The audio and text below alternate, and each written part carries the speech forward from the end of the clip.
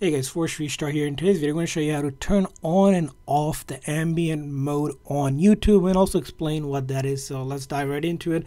So the ambient mode on your YouTube app allows you to basically see a much more uh, immersed video experience where it adds gradient color to the videos to make it look more realistic and just smoother and crispier on the images. And in order to turn it on and off you need to do this on YouTube. Uh, go into any YouTube video. Or so I opened up the YouTube app here. And once you open up a YouTube app let's go ahead and find the video here. So I'm on my channel here. We're gonna go ahead and maybe go ahead and click one here. Now once you click on it of course right now we can't do anything because we have an ad. So we'll go ahead and skip that.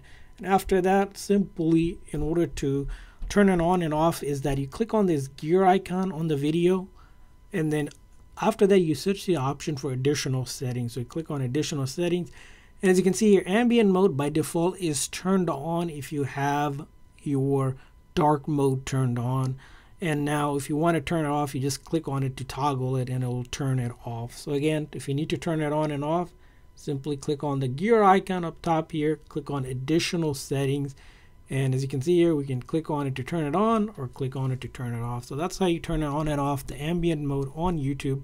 I hope this video was helpful. If so, please do consider a like and subscribe button for more tips and tricks for your apps and other devices. See you guys next time.